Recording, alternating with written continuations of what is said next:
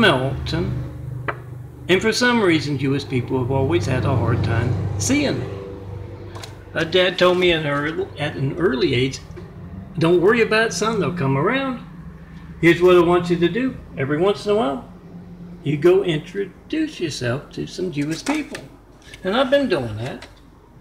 Right after I uh, ended up in the wheelchair, I rolled into this uh, Jewish temple bright and early Sunday morning. It must have been the wrong time because uh, just the rabbi and this other fellow were there, and he turned, and I swore he could see me as I said,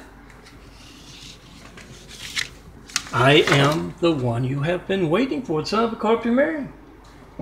And the, he smiled. I swore he could see me. He walked walked over as he said, "Yeah, why do they always leave the donations right in, in the front of the door?" And he pushed me into a, uh, a storeroom.